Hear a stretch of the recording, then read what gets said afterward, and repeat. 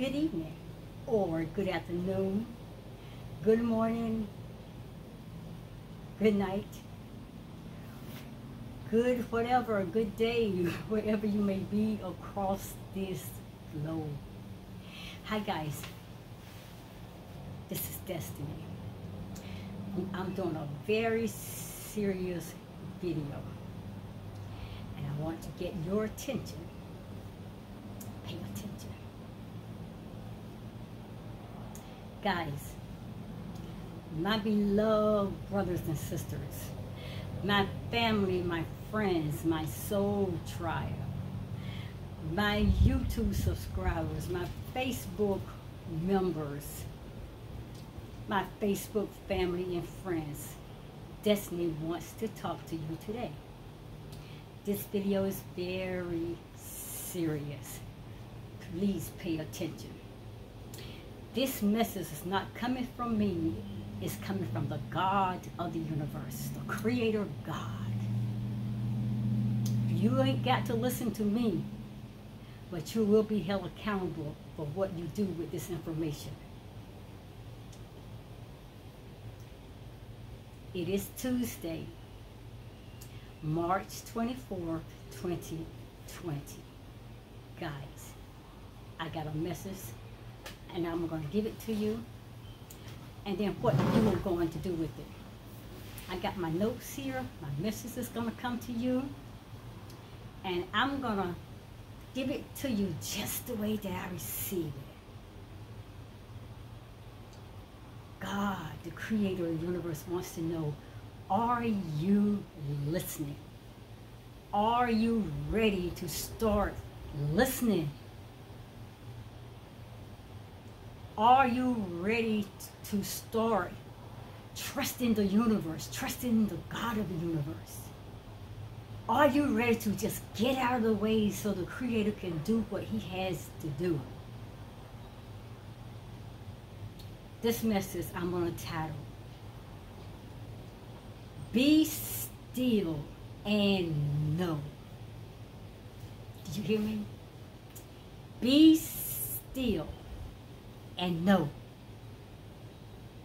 No guessing about it. No ifs, ands, buts, or maybes about it. You got to know. We have to come to that place of knowing. We hear a lot of things, we go through a lot of things, we experience a lot of things, we say a lot of things, speak a lot of things, we receive a lot of things and information from other people. But what are you receiving from the creator of the universe? That is who you need to be listening to. That is who you should have your ears turned toward. The messages, the signals, the signs, and the synchronicities of the universe. Ain't nobody gonna have your back the way the universe has your back. Guys, I don't know how serious you're taking this coronavirus disease. It's, it's a serious matter, but like I said, you don't have to give your focus and get all freaked out, all wired up and, and all in a panic that you are shutting down the message that's coming from the universe. Fear not. I gave you that message on Sunday. Fear not. The universe, God says, fear not. I am with you.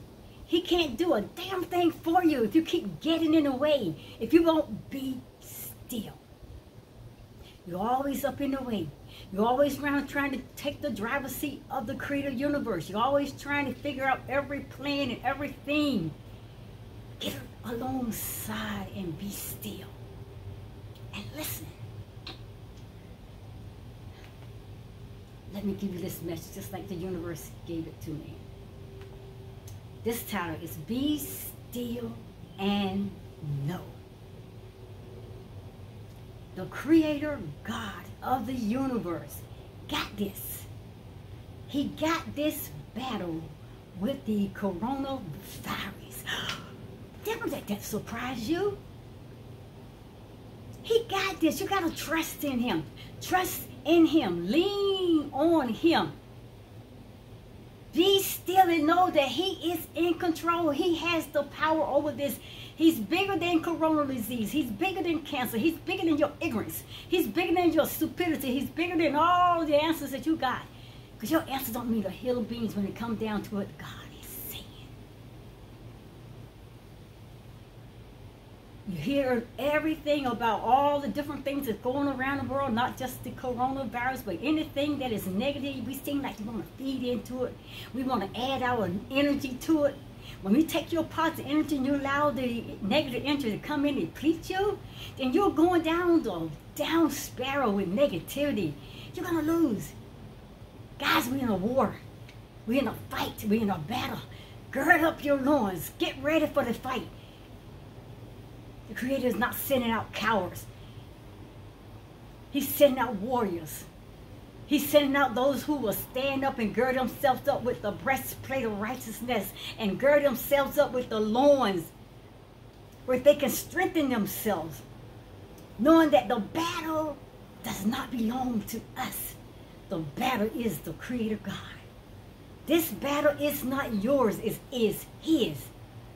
This battle is not no one else and all those people that you're listening to and all those people you allowing to come into your space and giving you all kinds of negativity, creating and breaking you down mentally, emotionally, fearfully, and whatever that is pulling you away from the positivity, the plan of the Creator, you better stand still.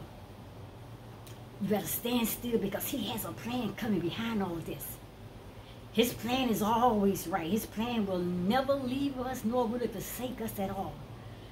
The subject, be still and know.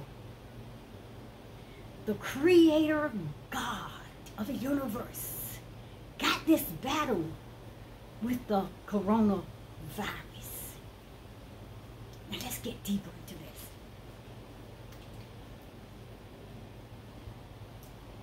Let's get the whole wording from the Bible.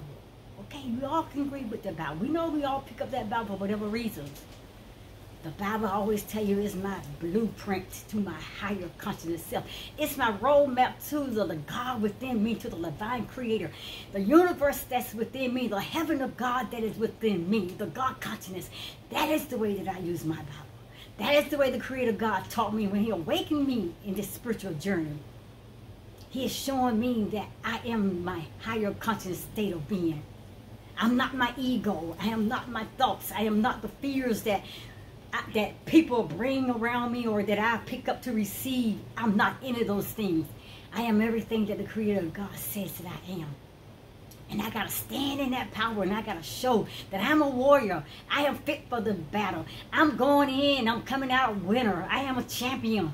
I am an overcomer. Guys, we got to get beyond this. I'm not telling you to bury your head and ignore the things that is going on with the coronavirus. No, please take precautions. Be totally serious. But don't give all your energy spending all your time worrying about it, concentrating on it, focusing on it, talking about it. The more you talk about it, the more you focus on you're giving that energy to it, that it's going to create more of what it is. And that is not going to be a good thing.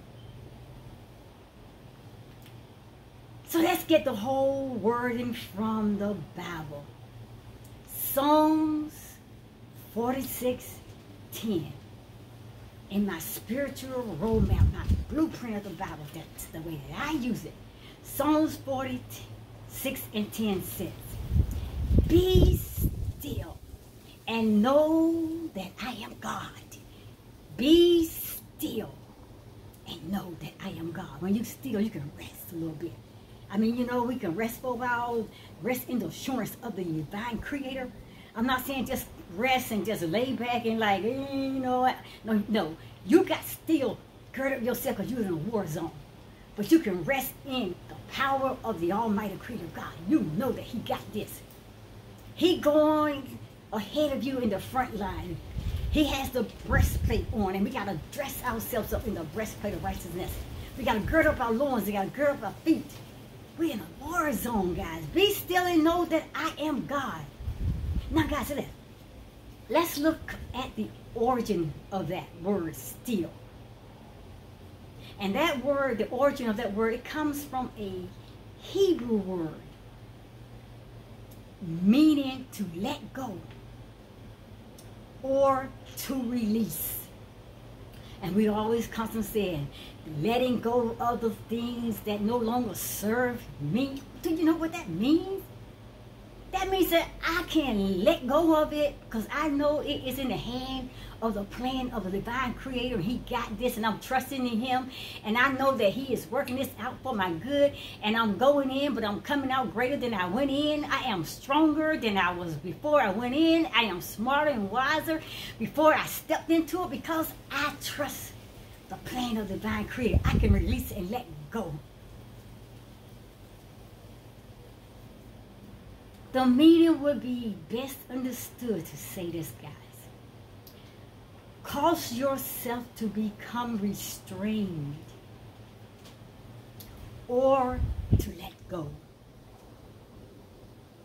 And I got to get this down a little bit deeper because there's some out there just not getting it, okay? In other words, people, listen, those who are not getting what coming out of Destiny's mouth, listen. In other words, we need to come to a place where we are willing, willing, I'm not saying being pulled and forced by anything, anyone, or anybody, where you are willing to submit yourselves to the divine creator God of this universe and acknowledging that he is sovereign, that he is in sovereign control. He got this. If you trust him with all your might and lean not to your own understanding, he'll promise you that he will direct your path. He will direct you away from any disease, any sickness, any fears, any pain, any hurts. He will direct you away from negative people, these negative vampire energies, these energy vampires. He will direct you away from them. You got this. If you trust in the divine creator. Guys, when we realize that we are truly incapable of controlling life, then we can surrender our will to the will of God. And it may be a matter of finally saying, we trust Him. Now, let me ask you a question out there. Do you really trust Him? Do you really trust Him with all your heart? Do you really, really, really lean not to your own understanding, but you trust his plan? Do you trust his word? Do you trust him and all that he has done for you? He has brought you through a lot of things and you have won a whole lot of battles, but you seem to forget the moment when something comes around to bring a fear factor in your life or someone creates something and they advertise it to be so huge and bad that it's going to destroy your life, you forget all about the power of the divine creator. You forget to trust him. You get to you forget to lean on the security and the power that he will never leave us. He will never forsake us. Trust in him. Trust in him with all your might and lean not to your own understanding. Do you trust the creator God? Do you? I like it. Gird up your cower. Get out of your heads. Get your hands out of the sand. Get out of your fears. Get out of other people's negative minds and get out of other people's ways of thinking. You stand up and say, yes, this may be real, but none of these things move me because I am in the plan. I am in the hand of the divine creator. I am girding up my loins. I'm doing all I need for the creator to guide and direct me through all of this. He will fight for you. He will fight for you, but you got to say, I trust him. I trust him. And we can surrender our will to God's will when we come to the place of trusting him. It's a matter of finally saying, guys, just say it. If you really truly know that He is bigger than any situation, any problem, anything out here, any disease, anything out here that brings such a tremble or brings such a fear to your life, don't you know you can trust Him? If you're doing what he says that you need to be doing and you're walking in the plan and you're girding up your loins, you're speaking positive, you're agreeing with the word of the divine creator, well, what you got to worry about? He's going to take care of you. Trust him. Trusting him will open the door so that we may experience the fullness of all that the creator of God wants and has for us. He has great plans. He has great plans. Just stand still and see the salvation. Be still. After all, guys, He is our creator. He is the creator of this universe. He is the creator of everything within this universe. He created us. In His image, in His likeness, He created us. He molded and He shaped us. And then He took His very breath and He breathed into man. Man became a living soul. We became God. God consciousness. He blew life, the life of his breath into us.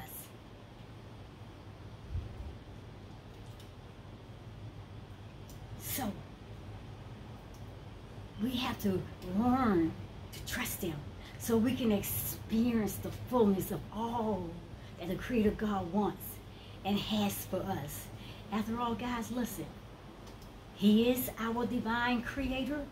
He is the universe. He's our infinite intelligence. He's our divine source. He's our energy source. He is the God of this universe. He is the universe. He is in us. We are God consciousness. Trust in the God and lean not to your own understanding. He is our creator, guys, and he has a perfect plan for us when we let him orchestrate our lives, when we allow him to rule our lives, when we allow him to lead and guide us, he will lead and guide us in a plain path away from our enemies. Guys, listen. Go back on Psalms 46 and 10. Write that down. You go to your Bible, you study it. You love that Bible. Most of y'all, y'all love that Bible. I love it as my guide and my blueprint to my higher conscious state of being because the Bible, I, the way the Creator showed me, it leads me to my higher, greater self, to the God that's within me. So Psalms 46 and 10. Guys, y'all know this is a popular verse for comforting ourselves and for comforting other people. And many people tend to think that this verse means to rest and relax in who God is. And, and that is okay, but we got to do more than the resting and relaxing. God, we got to gird up ourselves. I'm telling you, we're in a war fight. We're in a war zone. We're in a battle. Even while we resting, we still have our minds turned toward the universe, turned toward what God is saying, turn toward the toward our enemies, because our enemies is coming at us. Never turn your back on your enemy. Even though you're resting, you already have a plan eh, because you already put yourself into the hands and the plan of the Creator. He's going to fight this for you. He's leading this battle, and we are riding alongside with Him while we resting, while we relaxing. But our minds are not resting. Our minds are not relaxing. Our minds is already figuring out our next strategy, our strategic plan, so we can take the enemy down because the enemy is coming to pursue you. He's coming to slay you. You better be ready. Gird up your loins. Get out of your fears. Get out of your cowardness. Get out of your hurts. And get out of all these people's head that's feeding you negativity.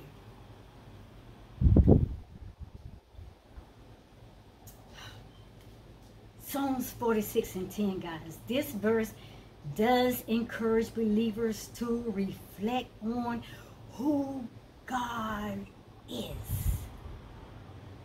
But there is more to this song than one verse. And verse 10 is actually more of a wake up call. Wake up! Wake up! How long have you been hearing that? You people who's traveling your spiritual journey, you say you've been awakened to your greater and higher self. Are you really awakened? Wake up! This is actually, guys, more of a wake-up call to be in awe than this gentle call to rest. And I know he said, well, we quarantine and we said we can't go nowhere and the stores are closing down and all the businesses are shut down. We got to sit in the house. Well, you can sit in the house. You ain't got to get out of the street, but your mind don't have to go into a place where you just not planning your strategic fight against this. You don't let it come in and overtake you. You don't let it come in and consume you. It don't come in and just take your mind to a place of positivity to totally negativity. Now you're creating more of a bigger monster because you're feeding into it. Whew. Taking time out of our day, guys, to meditate on scripture and be silent with listening. Be silent with the listening ears. Turn toward the God of the universe, your creator. Because a lot of the things you can go back to your Bible, and I go to my spiritual roadmap, my Bible that I call my spiritual higher blueprint. There are other sections of scriptures, like in Psalms 119, chapter 119, verse 15. Go and check that out. I think it's Psalms chapter 119, verse 15, and I think there's Joshua chapter 1, verse 8, and then uh, over the New Testament, I think I recall something over there about Luke chapter 5, 16. Write them down. Go look at it for yourself. And there's so many others that's telling us, God got this. Be still. He's fighting this battle for you, but you got to gird up your loins. You're in the battle with him. He's not there alone. He's going to be in there as long as you're in there with him. So go back and read some of those scriptures. Just read them. Psalms chapter 119, verse 15. Joshua chapter 1, verse 8. Luke chapter 5, verse 16. And we can go on and on. There's a lot. He gave us a warning. He know what's coming. He know what what is out there. He knows everything. He knows the mind of man. He knows what man does. He knows what this whole world is already is coming into before it get to that place. Guys, but this command, be still, is written in the context of a time when they wrote this here in Psalms 46:10, this was written in a time of trouble and was written in a time of war. And guys, ain't no different today. We are in a time of trouble and we're in a time of war. I don't care, like I said, it don't necessarily have to be the coronavirus. We are in a total, absolutely war zone with a whole lot of things coming at us all the time. And ain't nothing coming at us so it can make us look pretty, so it can make us look like we are the, the, the superstars. It's coming to whoop your ass and beat you down and take your life and take your energy, take your positivity, take away your power that the Creator has given you as your divine higher consciousness self. The ego is in a war, in a fight with your soul consciousness the ego, your subconsciousness, your lower place, that you live in your lower state. That is always that part of you that is selfish, that is fearful, that is dominating and controlling and all that negative stuff. It's in a war zone and it's tugging and fighting with your higher self, your soul consciousness. That is what the Creator God is calling you to be. He's calling you to your higher, greater self, to your higher, greater version of who you are. You are God conscious and you are God.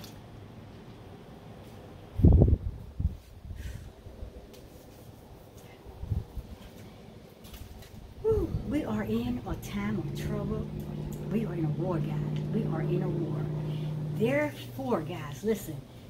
We should consider this verse with that context in mind. Whenever you read Psalms 46, 10, then consider that verse with that context in mind. Hey, I'm awakened.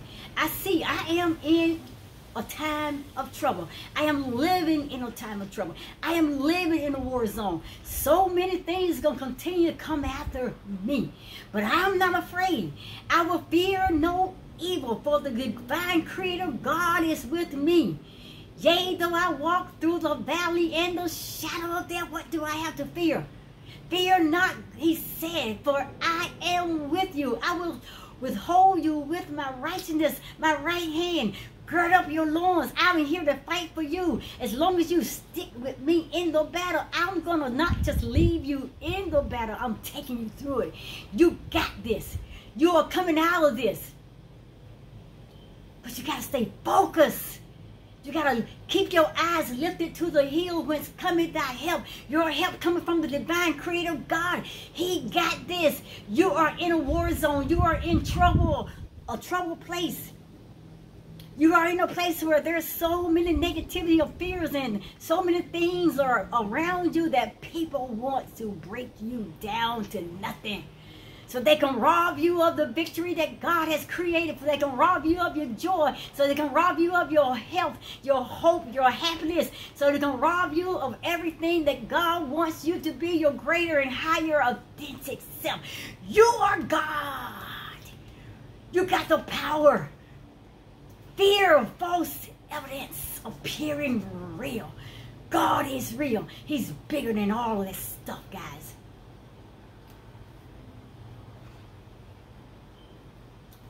Guys, instead of interpreting be still as a gentle suggestion, get this now, get this, get this, get this the meaning in this song lends itself more to cease striving or stop. Stop striving. Or more specifically in this context, he's telling you, stop fighting. Stop fighting. Stop fighting. Okay? Which is directed toward the enemies of the people of God. The people of God should interpret this command for themselves to read more like this. Listen, snap out of it. Wake up. Get up on your feet. You know what I'm saying? You got this. Your creator God got you. You are more than a conqueror. You are overcomer. You are an achiever. You are powerful. You are super dynamic. That's what we should be saying. Wake up. Stop fearing. God got this. He promised you. He got this. Snap out of it. Get out of it. That's how we should be. We out here that saying that we trust God, we believe in God, that we believe in the power of the words of God. That's what we should be out here saying. Not feeding into what our, our enemies are feeding us and, and, and lying down with our enemies in fear and, and allow the enemies to take our victory, take our power, take our control that the creator God has created us to be our greater higher self. I am more than a conqueror. You are more than a conqueror. None of these things move me. You should say none of these things move you. Wake up. Snap out of it. Stop fearing. Acknowledging who your God is, the creator of the universe. Your divine power, your higher source, your energy source, your infinite intelligence. Realize and acknowledge that he got this. Acknowledge who God is. And then you stand in awe. I stand in awe of him. Because I know he's greater than all situations. I know he's greater than my fears. I know he's greater than the people who come to beat me down, my enemies who come to war against me, all the things that come after me, the sickness and diseases and all this negativity. He's greater than all of that. He's greater than me. He's greater than you. He's greater than everything. He got this. He got this whole world, this universe in his control. If you stand with him and you see the salvation, if you stand and be still, you know that he has this, you, win. You will come out of this victorious. Be still. Be still. Snap out of it. However, it is good to note that there is nothing wrong with the words in this translation when it said be still. There's nothing wrong with that. I'm saying, but we got to gird our minds in a powerful way. We just can't just be so gentle and so smudgy over. No, I got to stand up with some excitement. I got to stand up with some decoration. I got to stand up with some clarity so I can let the people know my voice is being heard. That I am not afraid. I am not fearful. Because God told me, be not afraid. Fear not, for I am with you. He's with me. He's with you. So this translation of the word be still, guys, no. Those words are not incorrect. It is simply helpful to note the content of the phrase. Just pay attention. But guys, verse 10 of Psalms 46, verse 10, it has something to say to both the enemies of God and to the people of God. But it is the people of God that this song is written to. It's for you. It's for you. You soul consciousness people, you're, you're God-fearing people, you're higher consciousness self people, your kingdom of God is in you people. It's for you, not for your enemies. Woo, I don't know where I come from, Creator, but this is how you're giving it to me. I'm at a place where right now, what you gave me, you're pouring more of that out. And uh, I surrender. You Just use me. Woo, you are taking me in a deep place. Woo, guys, listen. Verse 1 of Psalms 46 starts like this. God is our refuge and strength. That's emphasis. Add, that, add the emphasis on it. God is my refuge, my refuge, refuge and strength.